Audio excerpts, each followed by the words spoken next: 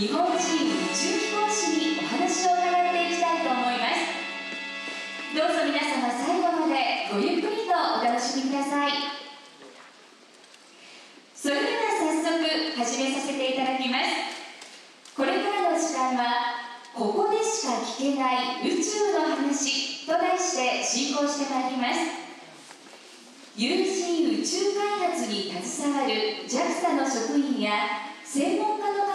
の講演を聞いた後会長の皆さんを交えてその話題についてさらに掘り下げてお話を伺っていきたいと思います。まずはこの第1部の進行役の2人をご紹介いたしましょう。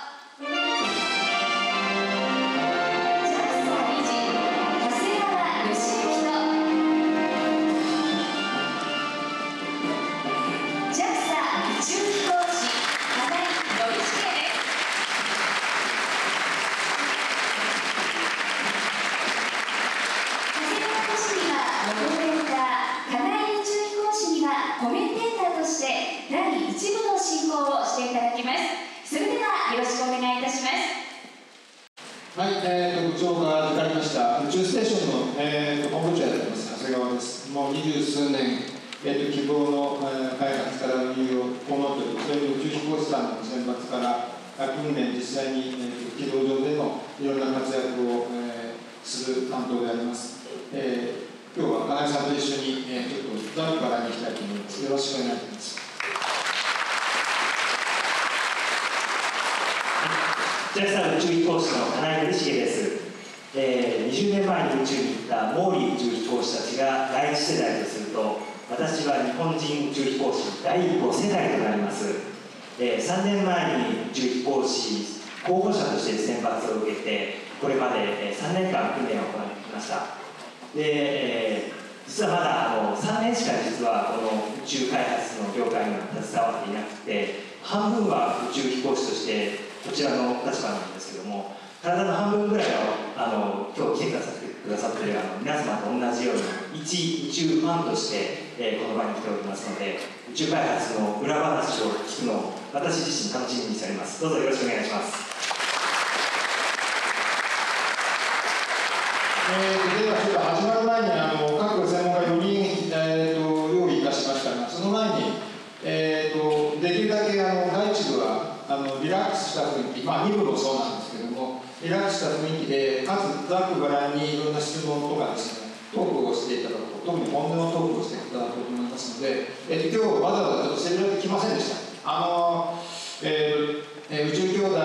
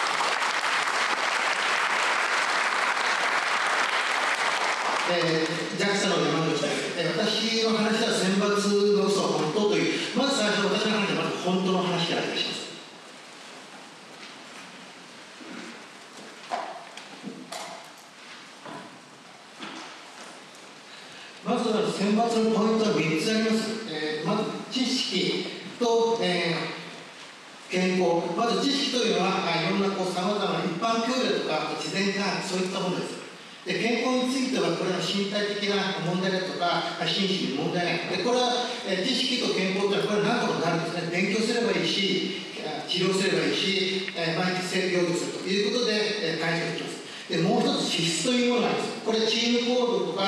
環境ストレス耐性状況認識といったことについてこれはなかなか付き合ってくれはできません。生まれついたのはそれ子供の頃そういった小さい頃から徐々に積み重ねていて初めて、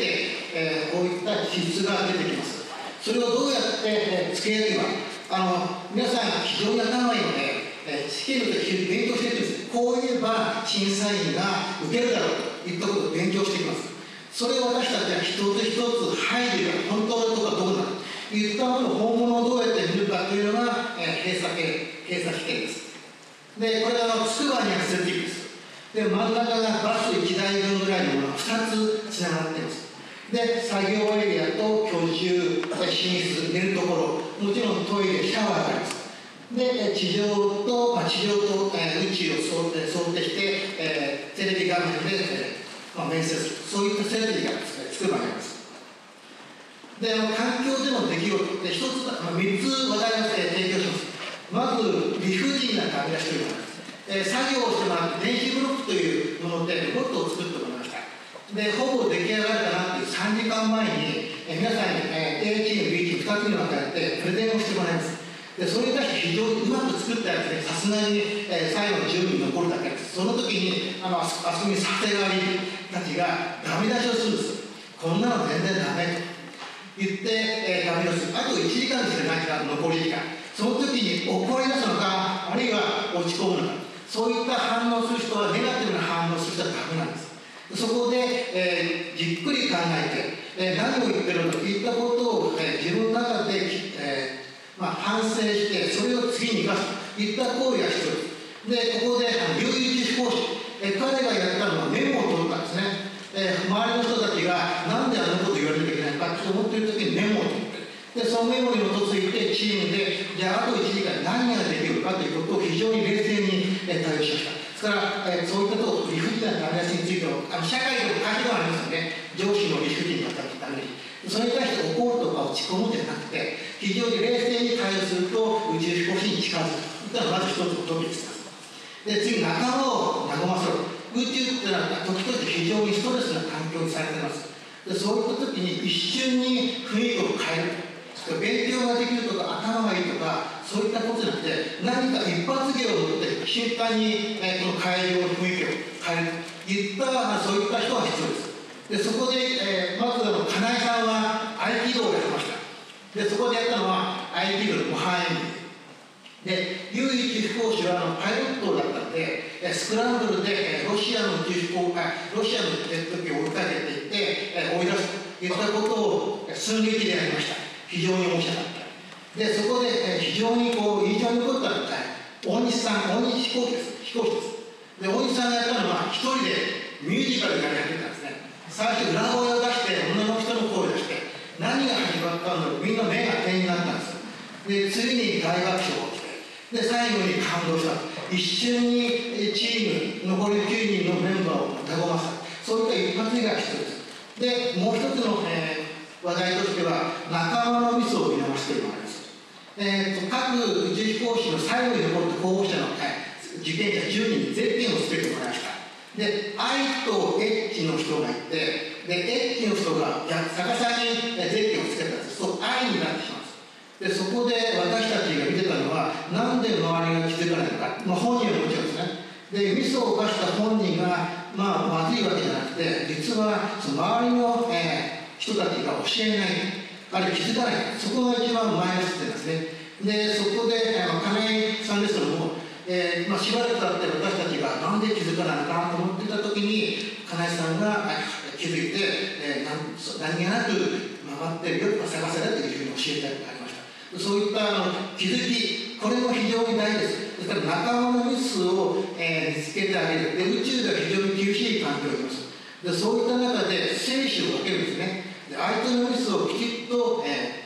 指摘してあげるでミスを指摘されたらそれをきちっと受け受け取ってそれに対して、まあ、感謝するそういった行動がしてるでこの3つのトピックスでまた出たより大西金井飛行が最終的に選ばれたといったのが選抜でのトピックスです私の、えー、話題は以上ですはいえーと時間が、えー、4項目のうち1項目だって17分でやらなきゃいけないのでまずはえ、ー、とえーと、まず最初に、えーと、アンケートをたくさんいただきましてその中で2つ項目を選んでそこの話をこれに引っ掛けてやりたいと思います。その後で質問を受けさせていただきたいと思います、えーと、今の H と I というのは宇宙飛行士10人を選んで閉鎖環境の中に1週間閉じ込めたというところで2グループに分けました。それが H グループと I グループ。その中のあの H の方は H のゼッケンを I の方は I のゼッケンをつけていう話のことです。であのえーと、まず2つの話をちょっとしたいと思いますけど、えー、1つはあの閉鎖環境で実は2週間宇宙協会では2週間まで缶詰になってると思うんですがこれはあの別途聞かれてる話で本当に2週間缶詰にしたのかという件ですけども1週間しかやりません、えー、理由はあの監視している方も24時間でやらないといけない。くたびちゃってやらないんですよこれでかつあのあの金井さんたち閉鎖環境に入ってる方々も大変なんですけどもえー、こちらで監視してる方も結構使いましてですね他の仕事やりながらこれやると結構使われるんでねね。そうです。大変24時間働かせます、それで評価対象があのどちらかというとチームワークプレーを見ててパーソナリティを見てるということがあって、まあ、お互い大変だということで1週間しております。ではその中でちょっと実際にあの完全になった、えっと、金井さんからその時の内容の様子とか気持ちとかをすみませんいくつか？お話しください。そうです。あのえー、宇宙兄弟でもあったと思うんですけども選抜試験を受けてる人たちっていうのはみんな宇宙大好きの。ここに来てる皆さんと同じように宇宙大好きの、まあ、同志的なあの、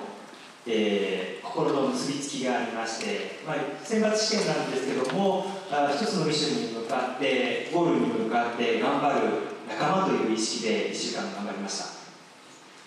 えーと、2つ目ですけどもあのグリーンカードというのがありましてですねえーと、缶詰になっているところでグリーンカードを出す。それはあのその10人のうち1人だけに対してわざといろんなあの不具合事故を起こしてくださいということで本の中ではあの時計を壊す。でトイレを壊す。もう一回壊すのか。やりませんそんなこと。国税で作ったものを壊したら誰が勉強するんですかねこれというのであれは嘘です。が実際にはグリーカード確かやってましたよねいつか。はいやります。あのそういったこうモラルに反するような声がさせられましたけども私たちイライラさせるんですね。先ほどの電気ブロックで最後のところでわざとダメ出しをしてあと1年作るといったようなことで急にあ日本禁止英語から英語にさせてください言ったことだと先ほど申し上げたここで皆さん一発芸をして瞬間にみんなを和ませるそういったことをしますはい、もう一個だけあの説明というかこの、えー、質問にあったことをやった上でご質問を受けたいと思います。でもう一個最近の確かテレビのえー、宇宙兄弟の番組で選抜の最終試験を、えーと、ヒューストンでやります、えー、これ確かに送ってやりました、えーと、その前に、あのヒューストンに送る前にその H グループ I グループの中で宇宙飛行士にしたい人をグループで選びなさいで書きなさい。その方々を宇宙あのヒューストンに送ります。というのがあるんですが実際どうでしたっけ？えー、それはないですね。あの審査員でこう頭を絞ってで悩んで悩んで、えー、選んだわけです。最後に受け落ちのなる候補者に対して選ぶということはありません。というのであのそんな選ばれて送ってもねあの評価委員も今日違うのでそれやりましたじゃああと56分あり、えー、78分ありますのでご質問を受けたいと思います。どうぞあの手を挙げていただいて、えーと、マイクを持っていきますのでお名前と、まあ、職業を出しあのえー、どんな人かって言ってくださって質問を受けたいと思います。どうぞ何でもダークバラに。じゃあ女性の方すいません。マイクお願いします。あお話ありがとうございます。小林彩香と申します、えー、今学習院大学の学生で JAXA の見える化に所属しているものです。昨日ありがとうございました。ありがとうございますはい、えあの長谷川さんにご質問をしたいんですが、えーと、その宇宙飛行士になるために資質というところもすごく大事ということだったんですが、はい、じゃあもしその長谷川さんが自分のお子さんを宇宙飛行士にさせたいなって思った場合はどのような教育をしてその力をつけさせるのかなというのがちょっと疑問に思ったのではい、えーと、うちの子供あの子供の頃から宇宙の話とかですね連れて行きました。みあの2人いるんですけどもえー、宇宙をやらない。別のとこに行きました。もうあの子供の頃から宇宙の話聞かせると嫌になっちゃうんですよね。最近も帰ってきて言ってましたけども宇宙はもういいよと言ってました。でえっ、とさっきの山口さんのチャートを出してくれると3つの要素がありましてあのお座りください。えっ、と資質あ資質が3つありまして肉体的な健康と技術的なことともう1個はあの3つありますよね。あのあこれですね、えーと、健康が第一です。それから、えーと、知識技術的なこともできる。それあこれですね。技術的なことできると専門性があると。もう1個はチームワークができると。3つの要素を我々掲げました。で、えーと、うちの子供をやるときにまず重要なのはしないといけないんです。えーと、ちょっとこの話はちょうどいい話を聞かせてくれたので、えーと、宇宙飛行士選抜金井さんほか由井さんを選ぶときに実はあの結構もっと2桁の人たちで優秀な人がいました。その方々を私たち選抜したいと思ったんですが精密検査医学的な検査をしたときに落っこっちゃいました。ほとんど7割以上落っこっちゃうので肉体がダメだともう宇宙飛行士になれないんです、まあ、彼みたいなのとかゆいさんはもうバッチリ健康健康をまずずっとやることが第一です。もう一個は専門性、まあ、専門性は頑張るとできると思いますが重要なのうちの子供にやったのはチームワークの行動。一人仕事をしないのでみんなでやるから話ができて聞けて会話ができるという訓練をやってはみましたがなかなかうまくいかなかったですね。えー、とにかく重要なのはこれです。これを結局閉鎖環境で見たのはこの部分です。ということで、えーと、ちょっと金井さんが聞きましょうか。今の質問に対する答え。どうやったら宇宙飛行士に？必要だと確かにあのチームワークっていうのは大事な気がします。あのこれは第2幕にも通じてくるような話なんですけども宇宙飛行士は一人だけでは仕事ができるわけではなくてそれをサポートしてくれる訓練担当の方ですとか事業の管制官ですとか、えー、科学サイエンスを指導してくれる、えー、科学者ですとかそういった方たちと仕事をしていかないといけないのであのそういったところでコミュニケーション能力あとは、えー、チーム活動っていうのは重要だと思います。はい、いいですか？次の質問ありましたらどうぞ。えー、っとあの今さっき缶詰の中にたんですけどその時入る側と入れる側の感想などを聞きたいんですけど。もうちょっとどういうえー、っとあの閉鎖環境の中に入って缶詰になった時に、はい、えー、っとあの、えー、入れて見る側とあの見られて。あずっと見られてる。はい。のの方の側の気持ちな直ずっと監視されて寝てる時もいろんな時も監視されている気持ち聞きたいと言ってます。そうですねあの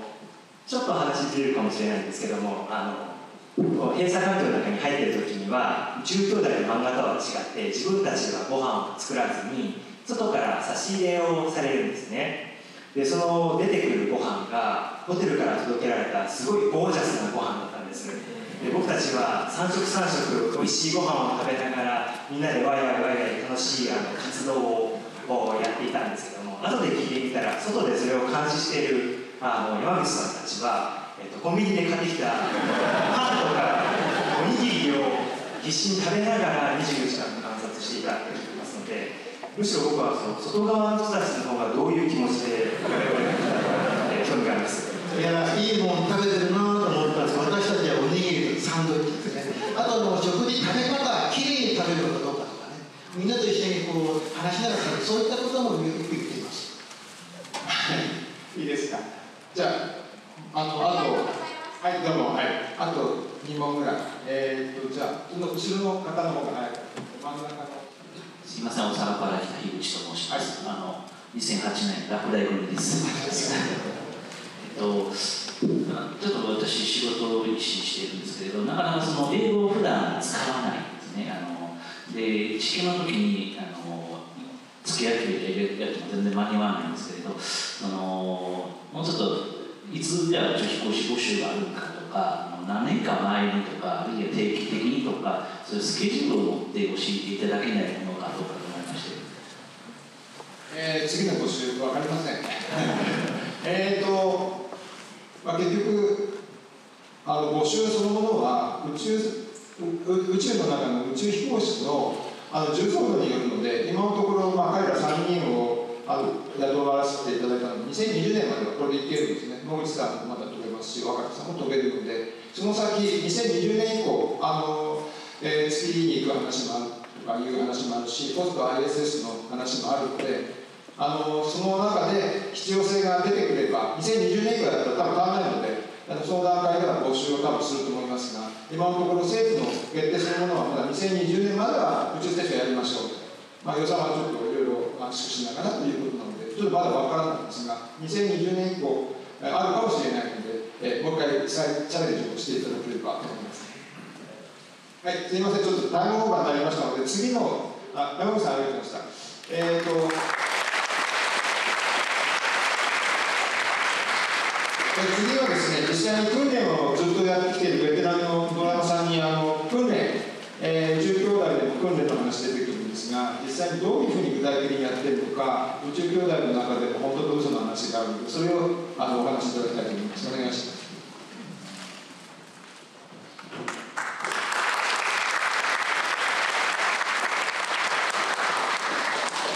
皆さんこんにちは、えー、逆算で訓練などしております堂山と申します、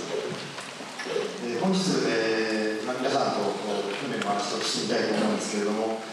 皆さん訓練という言葉を聞いてどんなイメージをお持ちでしょうか？例えばあの学校の授業で受けるようなものとかよく映画でやってる家庭系の体力系とか、まあ、いろんなイメージあると思うんですけれども宇宙飛行士の訓練というのは、まあまあ、ちょっと大げさな言い方しますと基本的には何か異常があった時にでも対応できるということを中心に訓練していますもちろん知識何かあった時に、え、どうすればいいかとかそういったバックグラウンドな知識は当然、えー、学習します。またそれを実際に操作を、えー操えー、装置を操作するといった訓練ですね。実際の、えーまあ、例えば実験装置なんかであの知識として例えばボードの交換の方法とか習ったとしてもそれを実際にやってみるとかこういったところにコツがあるんだなとかそういったことは実際にやってみて、えー、理解する。いったことをやっています。この辺はまあ普通にやってることだと思います。また宇宙飛行士の場合ですね非常に、えー、世界中を回って訓練するんですけれども、まあ、日本に来る時間はなかなか取りにくいということで日本に来なきゃいけない訓練を中心にしてやります。例えばマニュアル読めば分かるようなことこれはもう日本で訓練しません。もう宇宙飛行士みんな先ほどの選抜のように優秀な方になってますのでマニュアルは前もって読んできてください何か質問があったら答えます。というところから訓練はスタートします。もちろん宇宙飛行士バックグラウンドによってマニュアル読んでそのまま理解できるものとやっぱりちょっと難しいなというところでどうしても凸凹できてしまうのでその辺を確認しながら進める。といったことが、まあ、訓練のインストラクターといいますけれどもノーブでの見せ所かなというところがあります。今日はですねこの他にもう一つチーム行動こちらの訓練についてちょっとお話してみたいと思います。宇宙ステーションの前に国際がついてます。宇宙ステーションは世界中の国、まあ、ちょっと大きさですけれどもロシアアメリカを中心としてヨーロッパ日本カナダ我々5局と呼んでますけれども5つの、えー、組織が共同で作っている非常に大規模なものです。当然ロシア人アメリカ人日本人カナダ人ヨーロッパの人たちみんな考え方違います。文化も違います。失礼しました文化も違います。またチームで行動する以上誰かがリーダーをといった時でもリーダーシップの取り方も違う。またそのリーダーにどうやって従っていくか。みんなでどうやって一つのことを成し遂げるか。そういった協調性とか。そういったことはみんな違います。それをどのように、ね、まとめていくか。それは身をもってやはり訓練するしかない。チーム行動能力の訓練を例えば非常に重要なことにコミュニケーションですね、えー、異文化の人たちがコミュニケーションを取ろうとすると非常に非常に些細なことでもあらゆる結果を招くことがあります。まあ簡単な例で言うと例えばそうですね。皆さんテニスやったこともしくはテニス当然ご存知だと思うんですけれどもテニスについて例えば、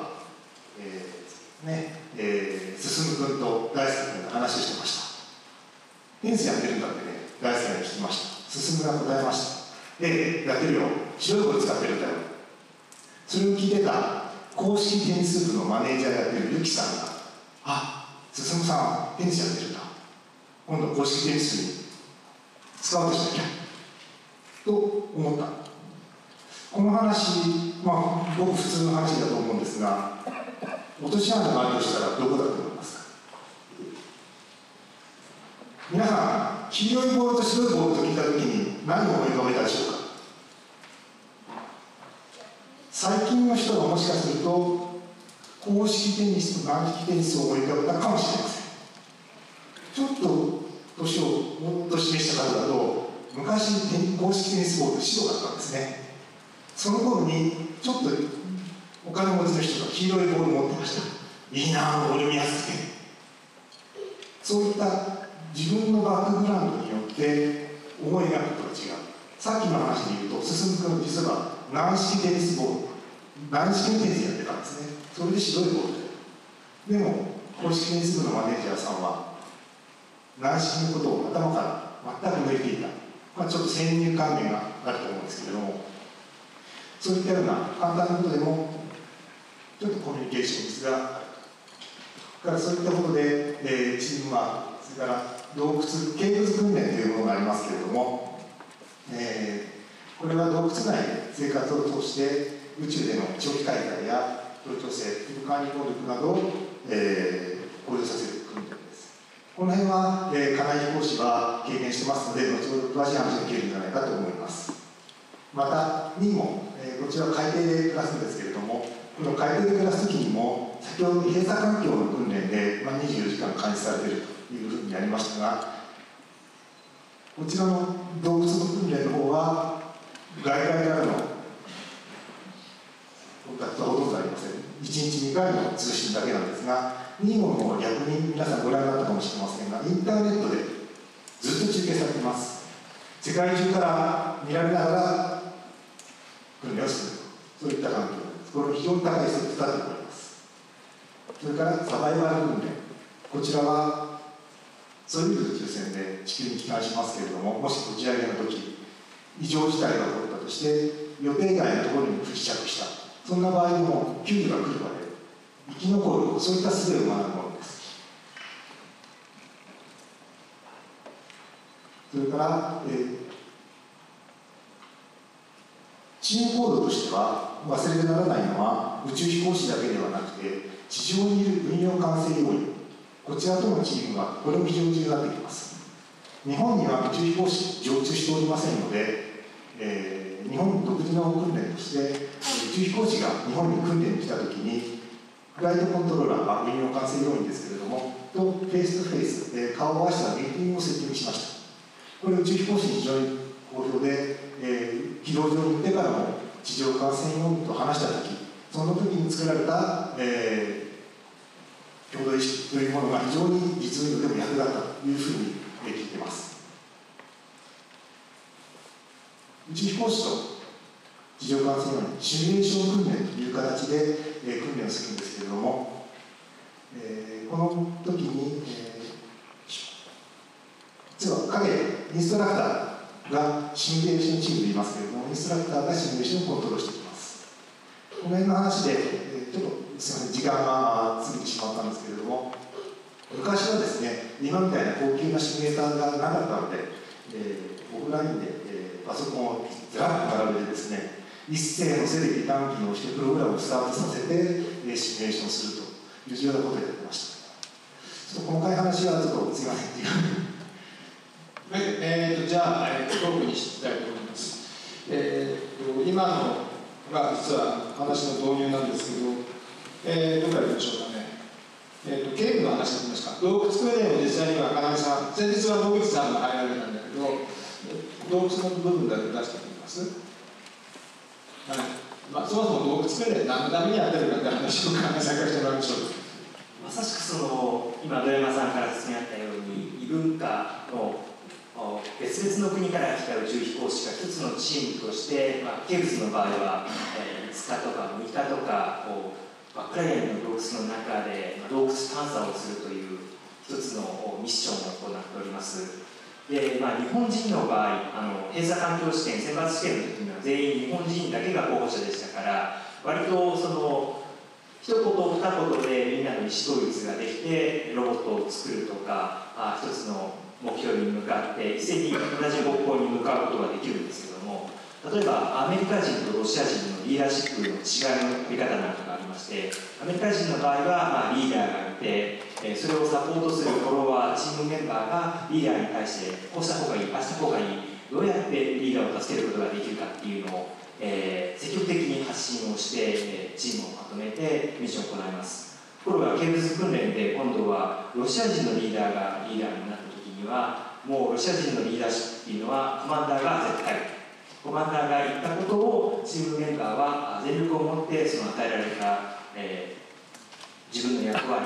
を頑張ると。でコマンダーに対しては一切、反応はできない。俺の言う通りになり分かりましたっていうそういう、特色があります。逆に日本人の、えー、チームリーダーとしての役割っていうのはまたちょっと違っていて一人一人チームメンバー意見を聞いてそれを全員に周知徹底してえーまあ、昔から和を持って尊しとなす国ですから、え、そういう、えー、みんなのコンセンサスを得て一つの目標に向かっていくっていうそういうあの各国の特色があるんですけどもこういった訓練を通して、まあ、お互いの国柄を知ったり人柄を知ったりそういった、えー、訓練をとっております。はいえーと、もう一つはですね、えーと、訓練をずっと土山さんやってくれてて、えー、今の話じゃないんですけども日本結構評判が我々の方がいいんですね。あの訓練のその教科書自体も丁寧根節丁寧に図があったり手順書の項目が全部書いてあったりそれをまた丁寧に教えるインストラクターが相手のレベルに合わせてやってるので結構私もあの向こうの方からあの褒められたりしてるんですけど実際にはどんな状態ですかね？親切丁寧にやってるんですよねはい、えー、とても丁寧にやってると思います。で非常に今長谷川理事からお話がありましたように非常にあの宇宙飛行士からの行動の訓練で実は日本の訓練というのはまあ基本的には NASA の訓練を教えてもらって、えー、育ってきたことです。20年まさに20年前に FNPT が実施したモーリー・マムのナートワート92この頃に、えー、訓練を教えてもらったんですがその頃は、えー、NASA のやり方それに対して日本で、えー、宇宙飛行士宇宙ステーションに向けた宇宙飛行士に、えー、短い時間でこういうふうに教えるにはどうするかということでやっぱり10年近く時間をかけて少しずつ良くしていくということで、えー、非常に、えーまあ、日本の訓練はあヨーロッパからのまさから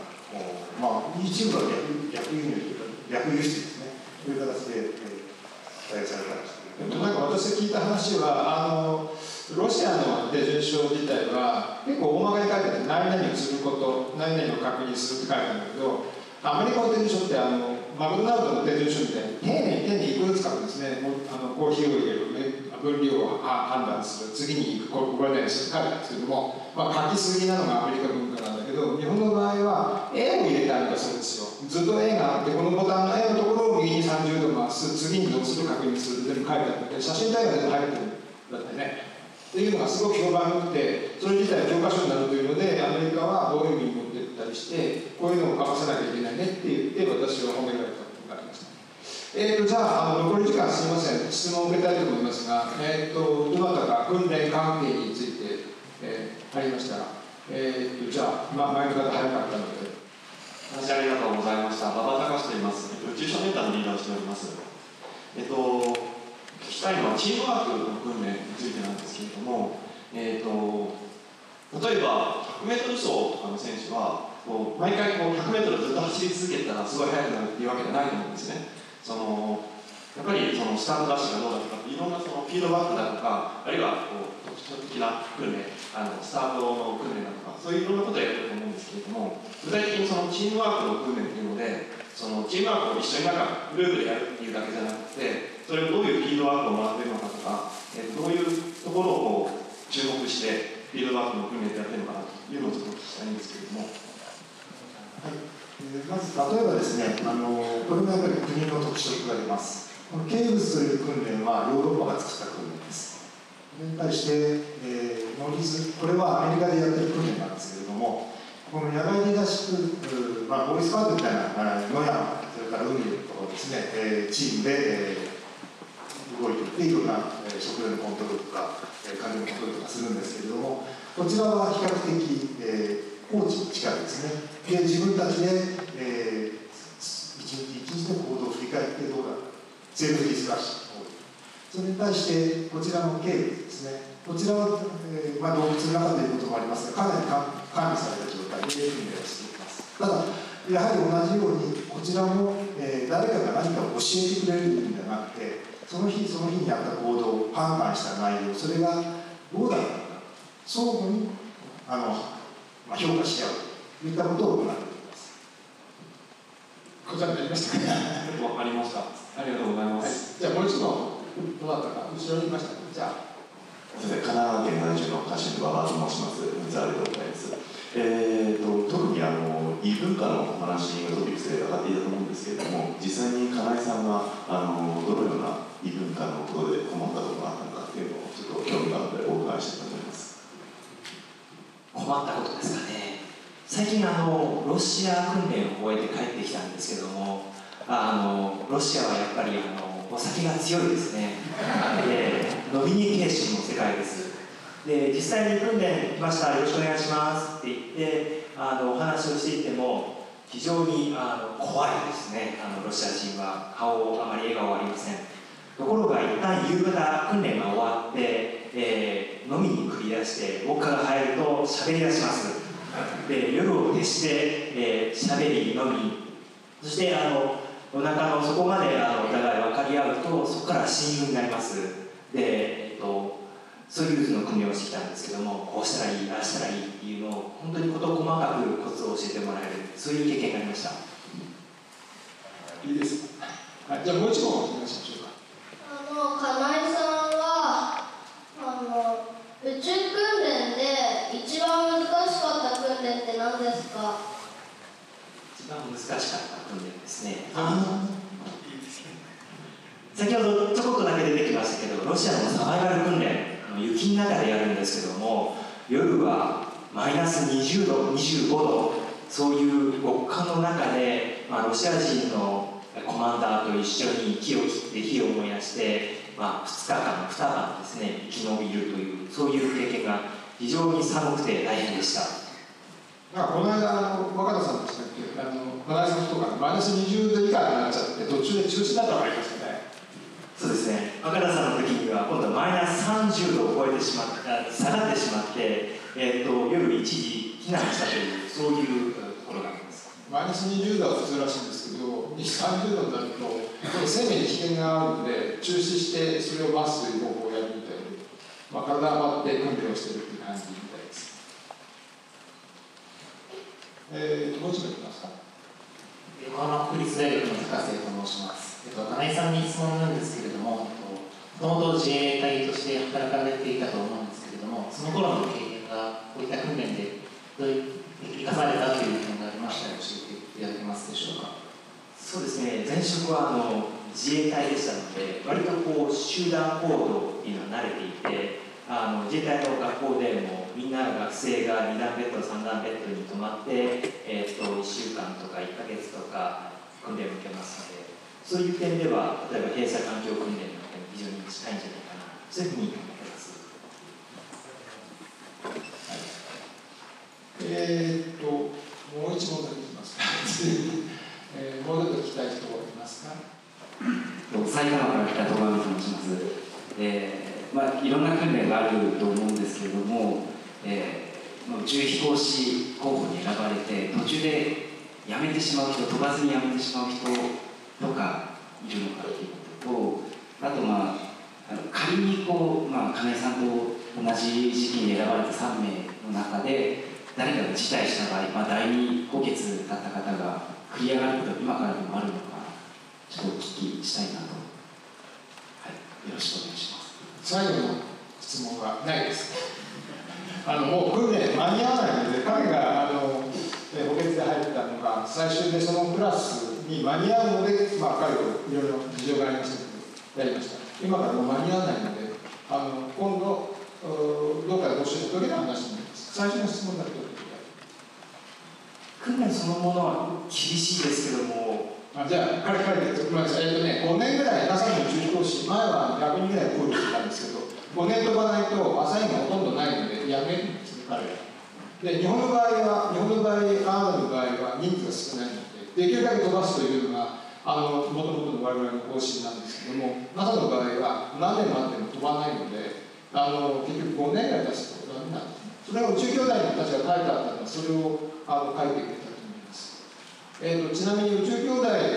ちょっと話がずれますが、宇宙兄弟の中の話、えーとま、野口宇宙飛行士がサポートしたり、うちの訓練グループがサポートしているので、あの話の内容はあの大部分本当です。ただ、強調して書いているのは、我々がお願いしたわけじゃないですけど、あちらはあの講談社および著者の方が強調して書いているというのが実情なので、あの背景とか何のためにやってるかっていうのは、あのほとんど本当ですので、勉強の傍ら、あれを教科書で見てくれると、人生豊かになると思います。えー、じゃあ次すみません、時間的にあの次に行きますので、遠山さんありがとうございました。拍手をお願いします。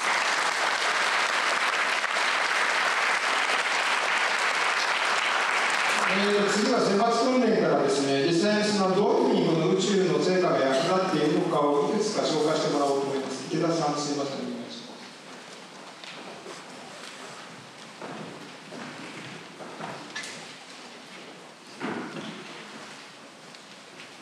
皆さんこんにちは。JAXA 希望医療推進室という部署におります池田と申します。えーと、宇宙発暮らしを豊かにする技術ということで、えーまあ、どういう話をしようかなとちょっと考えたんですけども、まあ、あの今日のトップのところに書いてあるフワット92からあの今20年ということで、えーまあ、もともと日本のです、ね、宇宙飛行の歴史というのは、まあ、宇宙実験の歴史そのものでもあるということで、まあ、日本の宇宙実験のちょっと話をしようかなと、まあ、今までの2つの話が、非常に楽しい宇宙飛行士の話で、えー、面白かったかもしれませんが、ちょっと私の話はあんま面白くないかもしれないんですけれども、あのただこういうことがあの実際に宇宙ステーションでやられていて、あの実際役に立つんですよというところをちょっと強調したいなと思いました。でまずですね、一番最初、あの最初あの紹介もありましたけれども、ノービさんが、宇宙飛行をしたワート92、そこではですね、まあ、半導体の結晶を作るとか、あのガラスの溶けた時の状態を調べるとか、流れの状態を調べる、泡を調べる、細胞を調べる、まあ、いろんな実験をですね、あのその書いてあるように34の実験をやりました。であのそのあとまあすぐになりますけれども、えー今度は向井さんが言った実験ですね。この時には特に注目されたのはこの水の中で生きる水生生物の実験ですね。コイですとかメダカえイモリといったようなあの実験をあのやりました。でこれはあの今、まあ、ちょうどですねこれ今星出さんが宇宙に出ますけれどもそろそろメダカの実験がまた宇宙ステーションで今度始まるんですね。でまあ、そういうあの今宇宙ステーションの中で、まあ、宇宙でその水生生物をあの生かす生かして実験をするというのは今世界で日本がトップを走っております。でそういう技術もここから始まってるんですね。でこの辺りで、えー、随分ですねあの勉強をして、まあ、いきなりここで初めて日本人がいろいろ宇宙で実験をしようというふうにあの始めたわけですからあの最初から全てうまくいってるわけでは実はないんですね。うまくいった実験もありますし思いもやらないことでうまくいかなかった実験もある。であのその後さ、えーここにいっぱい出てきますけれども宇宙放射線の計測の実験ですとかタンパク質の結晶を作る実験ですとか、まあ、いろいろこうやってきました。でこれは必ずしも全部宇宙飛行士日本人の宇宙飛行士が飛んでる時だけではなくてですねいろんなスペースシャトルを使ったあの実験をやってきました。で、えー、と最初のですねあの毛利さん向井さんが、えー飛行した時のおこの辺りの実験はですね実は全部あの例えば結晶を作る時には、えー温度をどのぐらいの時間で上げていって、えー何度で何時間キープしてその後温度を下げるとかですねそういうプログラムを全部地上で最初にセットしてですねもう一発勝負で宇宙実験をやってたというのはほとんどです。でそういう意味もあってなかなか難しい条件の作り方が難しかったりえーうまくいかなかった。りということもありましてでちょうどこの97年あたりから地上で宇宙の様子を見ながらあのパラメータプログラムを変えてみるとかですねそういう実験ができるようになってきました。でその後もですねあのこれは98年ぐらいから宇宙ステーションの建設が始まってますので、えー中性子の計測をする実験ですとか、えーここに出てるようなあの宇宙を飛んでる、えー物質をキャキャッチするような実験ですとかあとはまたタンパクの実験を引き続き日本はやってきました。で最初にここでタンパク質の、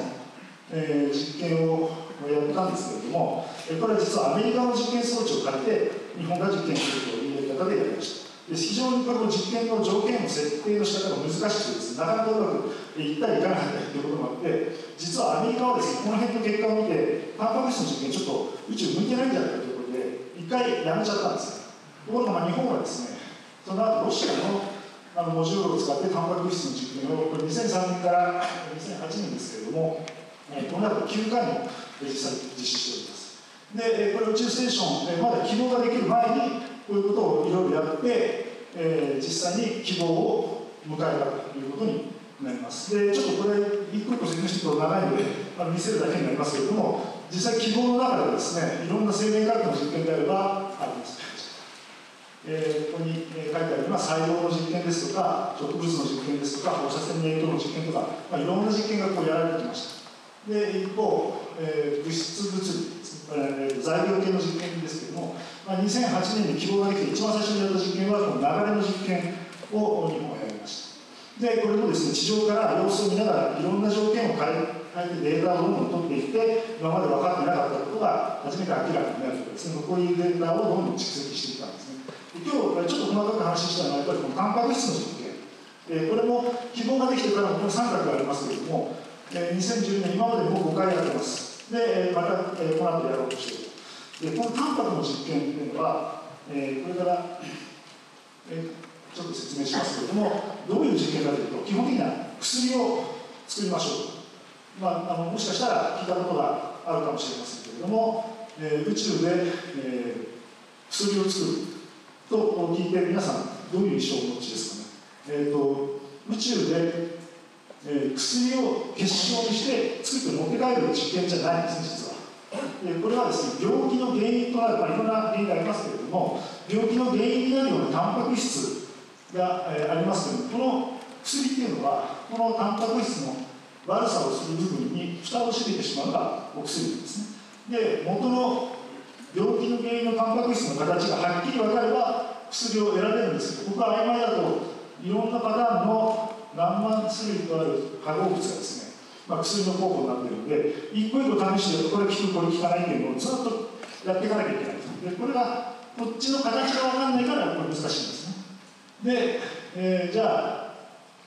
宇宙を使って何をするかというと微小重力無重力ですね、えー、アメリカはやめちゃったんですけど日本はその後アメリカの装置ですとかあのヨーロッパの装置を、えー、いろいろ勉強しながらですねどんどん改良していって、えー、新しい、えー、全く新しい結晶化の方法を見出したんですねそれで、えー、今ではですね地上で結晶ができれば宇宙に持っていくとする大体8割9割、えー、結晶の品質が向上するというようなあのことができるようになってきましたで綺麗な結晶が要するにできるんですけどもこれができると何がいいかというと光が当たった時に綺麗に反射するので、えー、これをですねご存知の方いるかもしれませんがスプリングエイトということで、まあ、X 線を当ててタンパク質の形を見るんです。ね今まで見えなかったようなものが見えてくる。これが実は薬探しの鍵になる情報だ。で、えー、先ほどよく分からなかった部分に実はここにこういう出っ張りがあるのが見えました。ねっていうのが見えるとあこの2つここはまらないじゃないか。最初から分かるんですね。であこれがいいんじゃないかっていうのが分かるとじゃあこれが薬の候補になるというふうに、えー、いうのがこのタンパク質のあの実験になります。で一個具体的な例なんですけれども、えー、難病の筋ジストロフィーという病気があります。あの筋子供の時にですねあの筋力がどんどん落ちていって歩けなくなってしまう、まあ、非常に難しい病気でです。ね、治療方法が確立されていません。でこれはあの大阪バイオサイエンス研究所というところのあの実験現場なんですけれども実際にですねこの宇宙ステーションの希望を使った実験をやって、えー、このタンパク質の形をきれいに見つけました。で候補となるような治療に候補になるような薬の材料を見つけたと。でそれを、えー、実際ですねマウスですとか、え、このビーグル犬。このビーグル犬はあの筋ジストロフィー、えー、になって一回歩けなくなったんですけども薬を投与して、実際にまた走れるようになった、まあ、それでこの大阪大学サイエンス研究所の先生はですねこの走る犬を見て涙を流したという話があります。でこれが使えると。じゃあこれでじゃあもうすぐ薬になりますねとなかなかいかなくてですね、えーと、最近は iPS 細胞で山中先生兄弟のですねあのノーベル賞を取りましたけれどもあの先生も最近言ってるのでもしかしたらご存知かもしれないですけれどもこの動物実験で効果が出てから薬になるまでというのはです実は長い道のりがあって、えー、ここに臨床試験まずこの薬が健康な人に与えていて副作用がないかどうかというのをやった後にじゃあ実際にかん、えー、病気を患っている人に、投与していてどのぐらいの量が適当な、まあ、いろんなデータを揃えた上で審査に出して、えー、やっと薬が、作れるというふうになるので実はここに5年とか10年とかっていう期間がかかるんですこれは iPS 細胞のあの今この段階にいるものをこれから皆さんの手元に治療法が届くのはもうちょっとかかります。でも頑張ります。とおっしゃってるのはまさに同じような状況なんです。ねで、この筋ジェストロフィーの薬も今ここまで来てますので、えー、あとなんとかですね、頑張ってこういうところにつなげていくと、やっとこれで暮らしを豊かにする技術になるんですけども、なかなかこう、これは長いんですが、あでもですね、まあ、あの時間かかりますけど、これは一つの例で、他にもですね、アルツハイマーの原因になるメカニズムがどうなってどうなって治療薬がどうなってとかですね、インフルエンザもこの型によらないような治療薬ですとか、がんの薬もですね、今あの、点滴で入れてるものを安くですね口から飲めるような飲み薬でできないかとか、まあ、いろんなこういう研究を今やってますので、えー、なかなかすぐに、えー、結果が出てない役に立ってないんじゃないのっていうのがあるんですけれども実はこういうところまでが来て基礎研究というのはここまで、えー、持ってくるのが基礎研究なんですけどもここから先も、えー、いろいろですね産業えー、そういう製薬会社との橋渡しも、えー、調整をしながらですね、えー、なるべく頑張って成果を出していきたいと、まあ、こういうような話を覚えています。もう一つちょっと課題飛行士がいらっしゃるので、えー、宇宙医学の話をちょっと一言だけ触れたいと思います。宇宙医学はあのこの骨、えー、地上の10倍の速さで骨がどんどん弱くなるんですね重力が、えー、かからないのであの骨で支える必要がないのでどんどん弱くなっていくで、えー、これがですね、えー、例えば地上で、えー、突如症になって病院に行きますよねだけど宇宙宇宙の場合は健康な人がその発症する前の状態分かった上で宇宙に行ってでみんな発症するんですね。これがで、えー、終わって帰ってきてリハビリでまた回復していくというのはその病気のサイクル最初から最後で観察できるので、まあ、この宇宙というのをうまく使えばあのそういう地上でですねあの寝たきりのなった時の骨の状態がどうだとかあるいは骨粗しょう症を予防するような薬ができないかとか、まあ、そういうようなあの研究がされております。えー、以上です。はい、えー、っと、タンパク質と,、えー、っと骨筋肉の老化の話をしていただきました。えー、っと、金井さんが、えー、実はお医者さんなのでの辺の話からちょっと進めたいと思いますが、えー、っと、えーと、ライフ系、まあ、宇宙医学、まあ、あの実際には、えー、老人だけじゃなくて実際にはもう2ヶ月3ヶ月寝ただけで普通の我々でもあの骨が筋肉が筋力が衰えていく。それに対するリハビリトレーニングおよび薬というのが今治療でもやってるんですけども、えー、そういう話と宇宙でのこの、えー、これに対する加速試験試し試験こんな関係のことを、まあ、あの古川さんやっていただきましたけど引き続き金井さんにやあのやっていただいたり知恵知識をやあの、えー、それ投与してもらいたいと思うんですがこの辺についてちょっとコメントおよび感想をお願いします。あの私前職は医者をやっておりましたので病院に勤めてあの患者さんをこうたくさん見てきました。で悲しい現実なんですけども、えーまあ、筋ジストレッキーもそうですしがんもそうですし、えーと、ずっと面倒を見ていた患者さんがどんどんどんどん亡くなっていくんですね。で非常にその一人の臨床医として無力感を感じるようなこともあったんですけども今宇宙ステーションでこうやって基礎研究が行われて将来もしかしたら今までだったら助けられなかった患者さんがあの助かるんじゃないか。そういう希望があるっていうのは非常にあの将来に向けていいことなんじゃないかなと。そしてそれに自分が携われるっていうのは、まあ、今は実際に患者さんは見る立場ではないですけどもあの将来もっとたくさんの患者さんを救えるお手伝いができるんじゃないかっていうのは非常に誇りに思いますし興奮してます。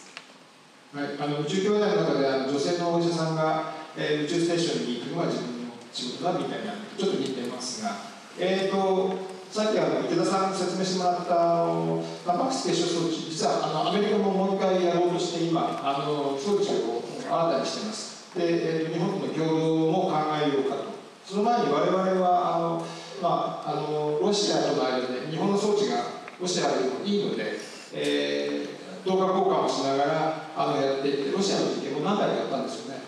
そうですね。あの宇宙ステーション希望になってからですねあの日本のこの装置が非常に優秀で成果も出ているということで、えっと、ロシアのロシアタンパク質を載せてあげます。代わりに打ち上げをロシアでやってください、まあ、そういうようなあの協力関係ができています。でやはりその一回先ほどアメリカやめたと言いましたけれどもやはり成果がこの日本のこういう貢献でですねいろいろ出ているということでまた最近アメリカもまあもう一回タンパク質を取り込むというような動きになっているわけです。他にもあの、えー、と我々あのアジアの関係でマレーシアのタンパク質の実験もその中でやって、まあ、若干お金もらったりしてあのサポートしてるということで、えー、とアメリカという国はちょっと若干コメントですけどアメリカということは常に世界一番で済まない国になってしまう。で日本がやっちゃうとですね何嘘っていうのがあって日本に負けてられるかというのがありまして我々がやっちゃうとですねそれを上回る成果を出そうと常にするというあの素晴らしい面白い国民なので付き合い方はそこを考えていただくということで、えー、質問時間がありますので2問ぐらいいただきたいと思いますがどなたかあの、えー、生活に役立つ関係するという話でちょっと後ろに行きましょうか後ろの女性の方右佐藤と申します、えっと、2つほど質問があるんですけれども今のそのタンパク質の結晶についてその、えー、実験をするタンパク質っていうのはさまざまあると思うんですがその選択肢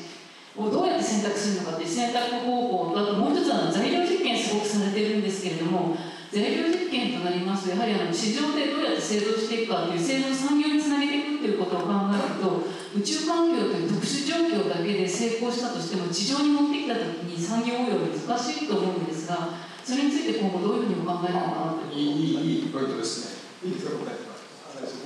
えっと、タンパク質はですねあの1回の実験でですねあの50種類ぐらいのサン,、えー、サンプルが搭載することができます。であのいろいろあってですねやっぱりその病気具体的な相手が見えてる具体的な薬のターゲットが見えてるもののをあの優先して選ぶですとかあるいはただそれだけですと新しい人が入ってこない。全く新しいアイデアであの実験してみたいという人、まあ、そういう枠を設けたりですね。あとはそのあの国の中でですねこの重要なタンパク質っていうのはいくつかあの議論されたこともありまして、まあ、そういうものを優先的に選ぶとか、まあ、いくつかのこうカテゴリーを持ちながら選ぶとでかつですね準備するときに実は手順にノウハウがあってですねなかなかうまくいくいかないっていうのは地上でその元タンパクの元になるものをいかにきれいに準備するかそれから宇宙で実験をするための条件を地上でどれだけきっちり出せるか、まあ、その辺をきっちりとできるようになってくるとあいいということでそこのそこもあの選定のポイントにしてですねあのいろいろと選ぶのが一つです。それから、えーと、材料系の話ですけどもちょっと話ちょっと時間がなかったんであまりしなしなかったんですが一つちょっとトピックがありまして、えーと、宇宙で初めてできる計測ということです。今度あの2014年ぐらいに、えー、打ち上げを予定している静電浮遊という装置があります。これはですねあのここに書いてありますけれども、えーと、資料を浮かせて溶かすんですね。まあ、あの無重力なんで浮くの簡単なんですけど地上だと重くて起こってきちゃうことも簡単に浮かせる。でそれで、えー、それをですね、えー、例えばえー、こういう形でですね浮いた状態で溶かしてあのちょっとゆすゆすってみるんです。そうするとビヨビヨビヨビヨってなってそれがこうピューッと減衰していく様子を見て実はこの粘粘り気がどのぐらいこの材料の粘り気がどのぐらいとか表面張力がどのぐらいとか密度がどのぐらいかというのを計測ができますでこのデータはあの宇宙でしか今のところ取ることができないんですけれどもこれをですね地上で材料を作るときにあの最適なあの結晶成長の条件を出す地上でデータが取れないのでこういうところを地上の工場に、え反映させてプロセスを作っていく製造プロセスを考える、まあ、そういうようなやり方が考えられます。直接の宇宙工場っていうのはあのないわけであの地上無重力の状態の中で必要なあのパラメータと称する温度だとか粘性だとか屈折率を調べるそれを地上の制度ソフトに入れると。いうのがあの今の無重力を使った実験の世界的な動きです。はい、すいません、ちょっと時間になりましたので、えー、池田さんありがとうございました。えー、一部の最後ですね、えー、超小型のあの衛星、えー、について開発とかあのいろんなことやっていらっしゃる東北大学の佐野先生にお話を伺います。えー、東北大学の坂本です。よろしくお願いします。えー、私だけあの少しトピックが若干黄色が違うんですけれども、あの今月10月4日にですね、えー、宇宙ステーションの希望から、えー、5機のキューブサット、あの小さい列ですね、放出されました。で今後今後の宇宙ステーションの新しい使い道として、え、この企画が続いていくものと思います。あのそれに関連しまして、え、大学でですね、どのような活動をしているかというのをご紹介いたします。えー、あの私あの東北大学に所属しておりますがあの私の研究室だけで今合計4機の衛星を、えー、作っています。あ作りましたと作っていますそのうち、えー、1機は、えー、3年前に H2A ロケットで打ち上がりました。この衛星ですね。スプライトサットと呼んでいます。で今回宇宙ステーションから放出されたのがこのライコというキューブサットです。あのこの絵的に見るとですね大きく見えるんですが、えー、こちらは 2.5kg でこちらの衛星はそれぞれ 50kg です。で現在あの研究して開発中の衛星がライジン2とライズサットという衛星を同時に開発しております。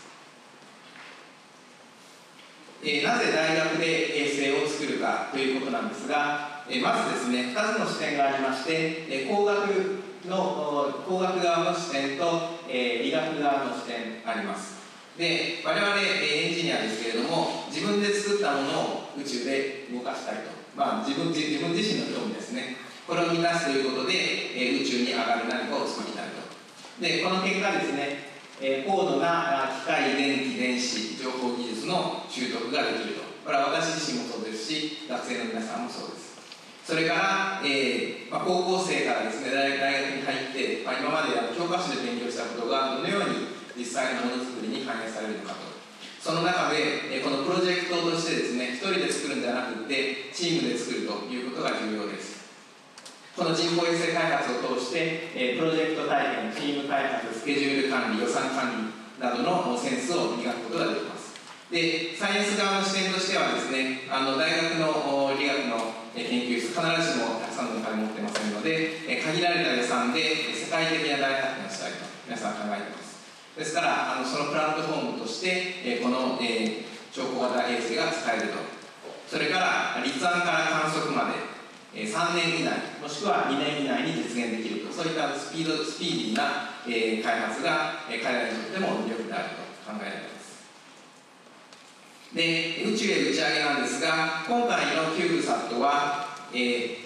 H2A ロケットによる相乗り衛星とは少し違います。最初に貨物としてえ梱包された状態で4月21日に H2B ロケットで、えー、宇宙に上がりました。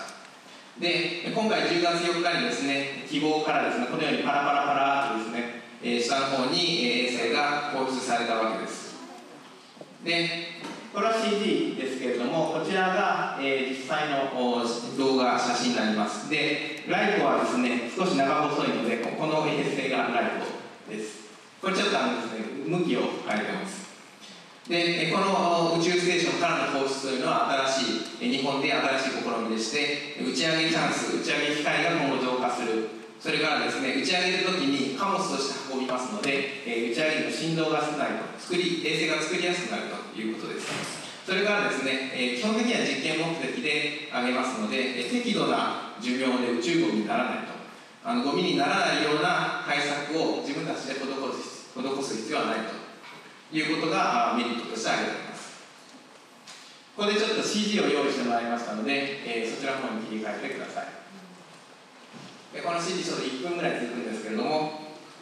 えー、このようにですねこのようにですねあのエアロックから、えー、セッティングされた衛星の放出機構がですね2式取り出されます。でこのロボットアームで、えー、どちらの方向に出すかと、まあ、精密にですね計算されたある特定の向きに設置するわけです。でえっ、ー、と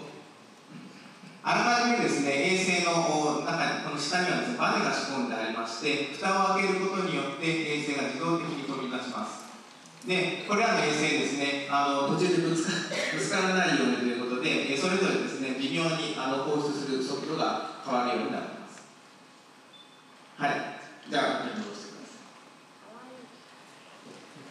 いはい。で、えー、キューブサット何か我々が作った衛星ですけれども和歌山大学と東北大学で、えー、開発いたしました。でこれはその中身なんですけれども、えー、非常にですね、えーで電子系層と基板が一式詰まっている衛星です。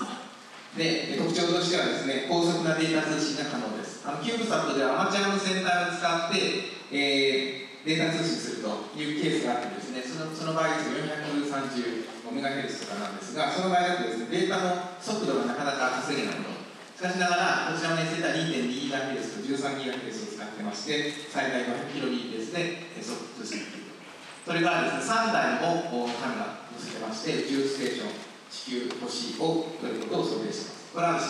演技室の中であらかじめ撮った写真です。でもう一つが、え寿命の最後にですね、50センチの膜を展開して、その後急速に軌道降下する実験を行います。でこれはキューブスタートのためというよりはですね、今後もっと高い軌道に上げる、えー、700キロぐらいの高度に上げる衛星にですね、デブリにならないようにする装置が必要であると。いうことで、それに向けた事前の実験になります。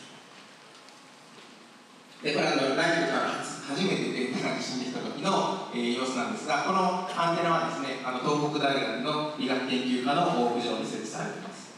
で、実はですね、えー、ライトの場合、最初、これ3日目の、えー、写真でして、最初の日じゃないんですが、えー、初日にですね、このアンテナのですね、方位を定めるモーターがですね、えー、故障してたと、電線が切れてたというのが発覚しまして、実は初日にですね、観測できなかった。すごく悔しい思いで、えー、ライブ中継、放出のライブ中継を見てたんです。せっかく放出されたのに初日に観測できないという悲劇が起こりました。しかしながらその後2日後にですね、えーまあ、周囲に点検するとですね、奇跡的に1日復旧して、で無事3日目にデータを受信することに成功いたしました。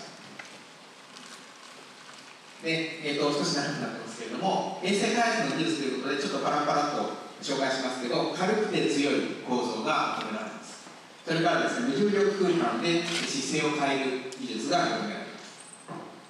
それからですねこれも特徴的なんですが65分の昼間と35分の夜を延々と繰り返します。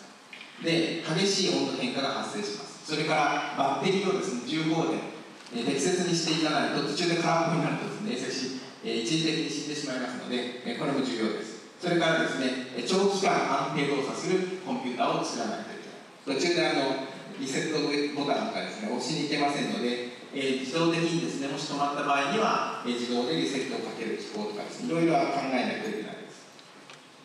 でこのような技術はですね、え人材育成にも効果的であると考えられてまして、え人工衛星の開発に必要な必要な、え技術というのは最終的にはですねあの車とか携帯電話とかですね、え日常の何でしょう、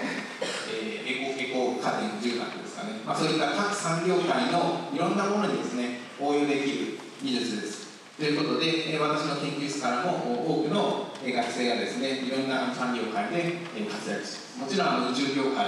えー、こちらの JAXA さんもですね宇宙業界にとどまって、えー、今後その後もですね我々と一緒に仕事をするということもあります。で最後になりますけれども今後の展開この大学でですね衛星を作る活動ですね10年前に、えー、2003年にですね初めて H2 ロケットで、えー、千葉工大の衛星がですね、えー、アイヌ衛星として上がったんですけれども、うん、それから19年ですか。今はですね次年度に予定されているのは、えー、GPMS アイヌ7機それから A ロスアイヌ4機とこれだけ合わせても11機なんですけれどもさらにはですね希望放出衛星の登場ということで、えー、さらに、えー、挑戦の機会が増えるということで、えー、この大学で衛星を作って飛ばして運用するとそういったですね活動が今後も活発になっていくと、えー、思われます。ということではいありがとうございました。えっ、とこのシンポジウムにあの参加するにあたって期待することということで書いていただいてそれに基づいて坂本先生に若干アレンジしていただいて現状と苦労した点と今後っていうのをやっていただきました。えっ、とまあコメントですけどあの放出希望からの放出っていうのはあの国際的に NASA からもロシアからも注目されてましてこれを定期的にやるのかどうかと言われたりですねあの半分はアメリカが半分は日本がということで一種の日本のそのえー、国のバーゲンに使っています。なのでなるべくあの定期的な公募等をやっていこうかと考えております。では質問を2、3挙げたいと思いますので、えー、じゃあ一番早い方前の方。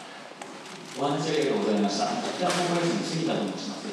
えー、国際宇宙ステーション希望からですね、ヒロサットが放出できるようになったということで、まずあの機械が増えるというのは大事だと思うんですが、さらに希望を別に宇宙飛行士の手を介して宇宙に放出できるということで、その軌道上でさらに操作を例えばしてですね、放出できるような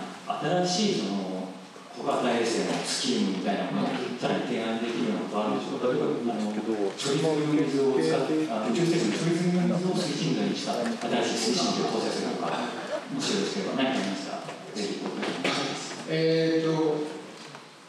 まあ、この放出自体は地上からリモートコントロールでできるんですが、まあ、今回は半々で娘さんにやってもらったり地上からやってもらったりしました。実質的にはリモートコントロール全部できるようにしたのでできるんですが、えー、と宇宙飛行士がいることによって中で最初チェックアウトちょっとお金かかるのでその辺はちょっと相談なんですがとかあるいは通信系飛んであの積んでるのは安全上のの話があるんですがそれに支障がないものないし安全が確認できるものは最終的に搭載していくことができるのであのリクエストをあの JAXA の方にあのメールでも結構ですが友人の方に送っていただければ自分検討させていただこうと思いますのでいろいろとご提案くださいませあどうでしょうか？あと2問ぐらい、えー、じゃあ真ん中のいけるか高校3年生の佐藤です、えー、希望から人工衛星が放出されるとあったんですけどそのまま大気圏で燃えたりしないんですか、えっと、どのように衛星が軌道に回るのか知りたいです。はい、えっ、とですね、400キロメ今回400キロメートルから放出ということで、最初に最初にですね、350から400のいずれかと聞いててですね、もし350で放出されると、大気抵抗がやや強いので、結構あの速いスピードで、えー、どんどんどんどん高度が下がっていきます。で、3ヶ月ぐらいであの300キロを、下回ってですね、その後は結構早くです、もう1ヶ月ぐらいであっという間にですね、大気圏に突入します。で今回400キロで放出されましたのでももう少しあの長くとどまることができると思いますけど基本的には、えこのぐらいの高度で放出された衛星は最終的には大気圏に突入してであの構造とかアルミとかですねあのガラスエポキシとかそういうものですのであの熱でも全部溶けて、ね消えてなくなると。そういった形になります。であの今後はですね宇宙ゴミを出さないようにということでえー、あらゆる、まあ、あらゆるというか600キロ700キロもっと高い高度の衛星も最終的には何とかして落としなさいと。あの落とす機構を作りなさいと。で700800ってなると何もしないと50年100年落ちてこないですね。ですからあの今回のライトに搭載した膜展開機構ですね膜を開くと、えー、より、えー、パイプテープを強く受けて早く落ちてく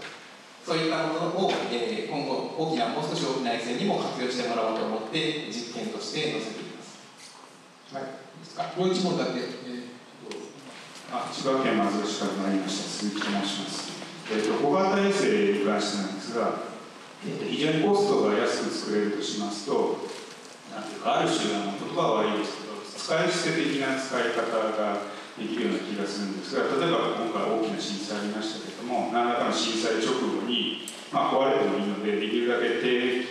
低軌道であの高解像のあのデータを取るとか、いろいろ今後今までなかった使い方あり得ると思うんですがその辺はいかがでしょうか？そうですね。あのあらかじめ衛星を作ってないと、まあ、いざ何か機会があった時にですねパッと上げるということできないと思いますけれどもあの今の現状ですとあの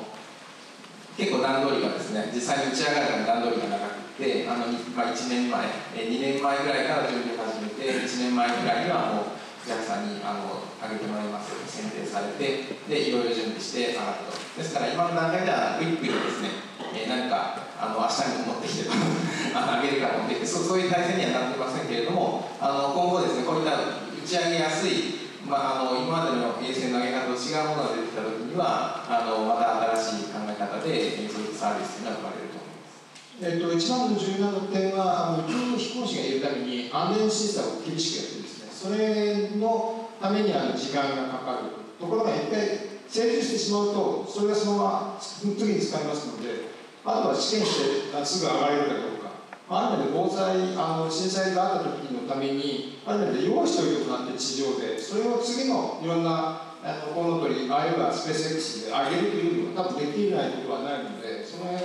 あの必要なあのなんていうかなあの対応をしていきたいと思いますが、あのもっといいアイデアがあったら、JAXA のホームページ等に送っていただけたら助かります。はい、すみません、ちょっと時間が来ちゃいましたので、草野先生に拍手をお願いします。えー、第一に時間があったので、ちょっとまとめたいと思います。えーと、